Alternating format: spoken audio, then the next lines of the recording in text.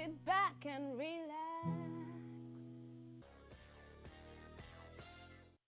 Welcome back to Hello Nigeria. We're joined by a very, very special guest.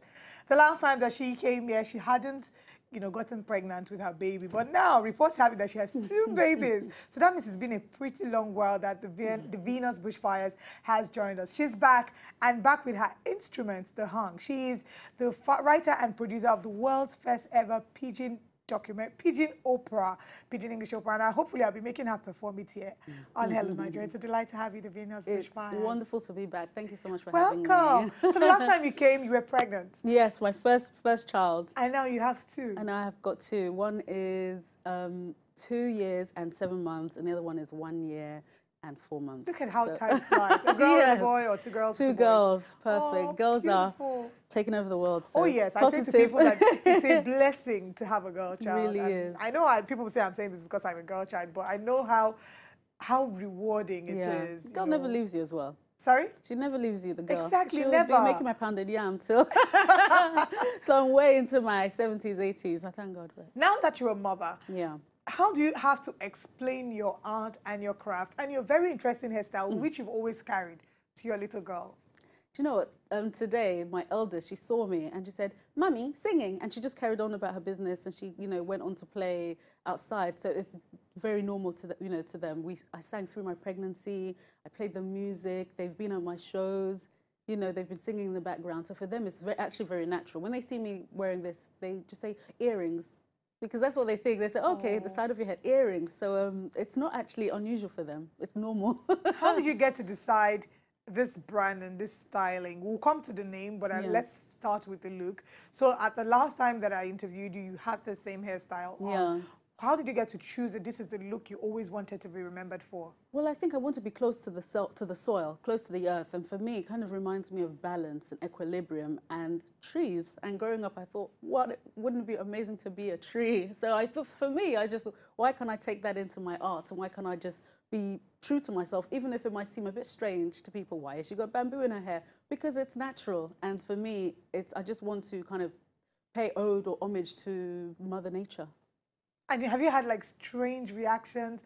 How long did it take you to get very comfortable with the stares? Because I'm sure that every time you get on a plane or you get into a shopping mall or in the market, you would definitely get people turning to stare at well, you. when I when I travel to certain places, I have to be mindful of the size. So of course, if I'm going to a big party, then I have to maybe have a smaller kind of hairstyle. If I know there's going to be lots of kids, they're going to want to pull my hair, so have it smaller, maybe more hair wrapped around my wrapped around the bamboo. But um, I'm I was very comfortable with the stares or whatever. Sometimes people might say, "This is very unusual." I say, "Thank you." Oh, you're very unique. Thank you. Sometimes this is strange.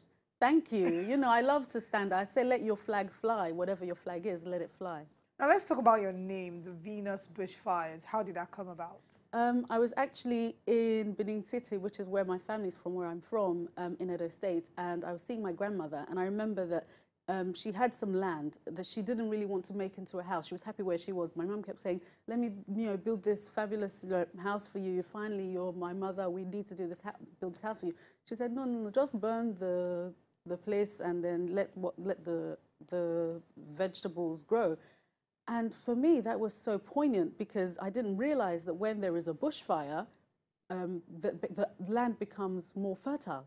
So it's, sometimes it happens by nature, and sometimes it happens by you know us starting the fire. But when you clear the land, it actually grows more fertile. So I just loved that. I just I thought bushfires, but there was an Aborigine band called Bushfires. But I also love the stars. I love um, astronomy. I love astrology. I love sort of the planets and just knowing that we're part of a smaller, uh, we're part of a bigger system and we're really that small. Whatever your problem big, whatever your problem small, you really don't matter that much in the grand scheme of things. So that kind of keeps me balanced in a way. This traffic is not a big deal. This um, hardship, it seems hard now, but it's not that big a deal in the grand scheme of things. So I thought the Venus bushfires And I love the celebration of the feminine and the masculine, but the balance. And I, I for me, that, as soon as I said it to myself, I said, you're wasting my time. this is my name. And So which of the Venus did you pick? Is it um, the Venus of Mercury, Venus, Earth, It's not even- or Venus, the goddess of love?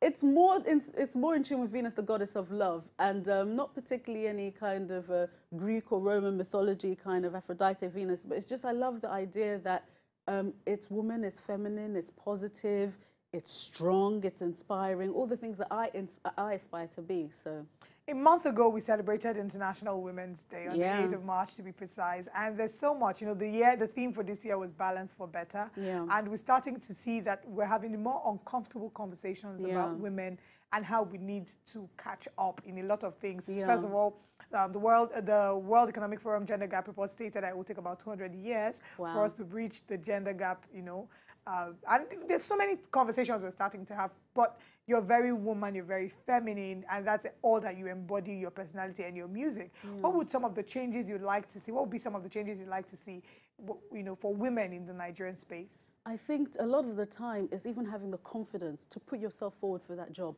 put yourself forward for that apprenticeship, put yourself forward for that um, for that you know course to study at university and things like that. I think there are barriers, but a lot of the barriers are also the barriers that we have had instilled in ourselves that we don't even go for those opportunities. You ask a girl, what does she want to do? Oh, I don't mind supporting so and so. No, I always say to my daughter, I need to give you proper food. I need to give proper pounded yam, proper eba, because you're going to run the world one day and you're going to need a full stomach. So I think there are a lot of barriers, but it's a, a psychological barrier as well, and social constructs that don't necessarily support a strong woman and don't support um, a woman that says she's going to be a leader. But at the same time, if I speak to any Nigerian family, the woman is running the show. I mean, I've got a husband and I've got a father. But I've seen how things work around the other side. So, you know, so women are strong. We're capable of doing many things. Um, but why this doesn't tr- translate, um, you know, professionally a lot of the time, I think is because of those psychological barriers. But we have many reforms to do with the law and institutions as well, for sure. Interesting. Let's talk about your music. You released an EP in 2013. Whoa. And before that, you had the world's first ever Pidgin English opera. Yeah, Tell us about after that, yeah. Okay, it was after that, 2015. was 15 exactly Yes, yeah. 2015. so i composed the world's first pidgin- pidgin english opera so it's the first of its kind. And in the opera world i think it's quite dynamic because opera is normally sung in italian french um, german and sometimes english. But for me i really wanted to have the dialogue. What is high art? What is low art? Who decides why? Why can't I be part of that discussion? You know, and also not that many women in composing. That's why I wanted to compose and produce with my husband Baba Apega, um, with um, his company MC3. Without him by my side, I would not have been able to do this. You know, and he also celebrates women. He really thinks that it's such a positive thing for me to be putting myself forward like this. And um, it was in London in 2015. Cape Town 2016. All this time, I'm thinking, I want to bring it to Nigeria. It's Nigerian Pidgin I'm speaking. Why can't we do it? So, but finally, we actually performed it here two weeks ago. the at reception? it was fantastic. The deputy British um, High Commissioner, she actually invited me. She said she wanted to put on a show, and I said, "Well, this is the kind of show I want to put on." And we had it outside, and it was magic. It How was did I fantastic. miss this? How did I not know it, this? it was just, it was literally just um, like a taster to Are you. I hope you're going to do something again in Nigeria. Oh yeah, I would we're definitely love to. Yeah, we're going to be at the Mike Adenuga, Adenuga um, France Alliance Francais Centre. Oh, nice. Um, so when it opens, we're going to be there middle of Jul- um, June. Dates TBC, but I'll definitely let you know. Okay. And also Muson Centre in November, Okay, seventh and eighth. fingers crossed. I definitely look forward to seeing all that. Yeah. But for now, let's take a sneak peek into the amazing art that the Venus Bushfires present. Check it out, and when we come back, we'll be speaking some more with her.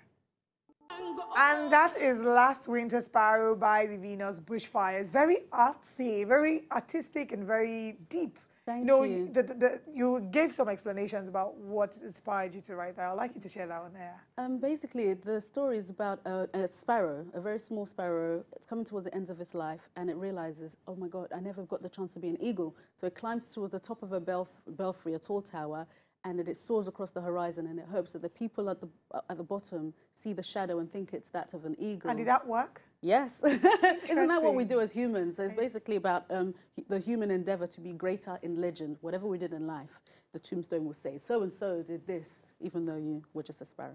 So at the end of the day, live your life as the eagle rather than being the sparrow trying to live, a sh- live under the shadow of the eagle. Live life so to the full. Express yourself as much as you can. With your wings open. And fly. Exactly. Let's talk about your hang before we get to feel your music. Now, this is a very unique instrument. This is the 1st time in my life I've ever seen this. ins- No, second time. The first time was, Was- the last time you came. Yeah. Second time.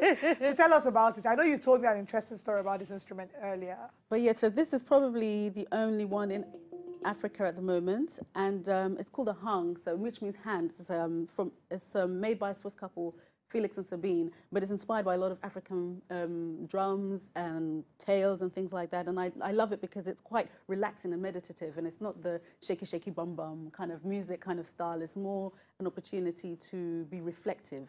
And to think about what's happening in Nigeria and Africa, the world. And how, how what's the relationship between you? and Because every artist has a relationship, a special bond with their instrument. like I was saying to you before, actually, when I said, I think I probably would have said, before I had my child, this was my child. And I would say to my husband, ah, be careful. Everywhere, every, when we traveled, be careful. It's easier to get a child than a hang. And then as soon as I had my two children, I realized that that's not the case at all. But for me, this is such a special instrument. And my, my firstborn, she plays this. And as of last week, my secondborn now plays it. So they saw me doing an, an interview on TV and they said, ah, Mummy's instrument, she plays it, I can play it, you know. So it was just such a magical. When I first got my, my hands on this in 2008 in Bern, after I quit my job to get this instrument because my boss wouldn't let me have the time off, I always imagined having a child that I would play this with and to have both of them playing it for me is just amazing. But how do you plan to get more? Because now, at the time you purchased yours, they stopped producing more of these you can't get more. I mean, if something happens, I have to get another career. Wow. Please, Yeah. we hope and pray that nothing happens to your hang. Me too. I protect know, it. Even my husband, he protects his big. And maybe you can guy. do a lot of investigation and find out how to make yours. Maybe one day. But you the know. thing is, I went to Benin and they can make it look the same, but at the moment not sound the same. So there are maybe some oh. counterfeit ones around the place, but this is the only kind of genuine hang in Africa. Okay, we'll get to feel the power and the magic of the hang in a moment. It's an improvisation.